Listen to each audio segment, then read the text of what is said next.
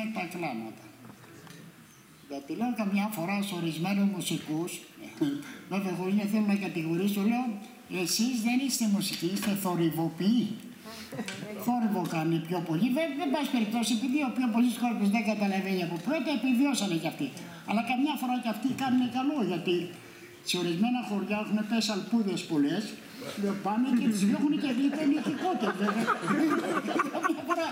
Καμιά φορά αυτή είναι πιο ωφέλιμα από, από ότι είμαστε εμείς.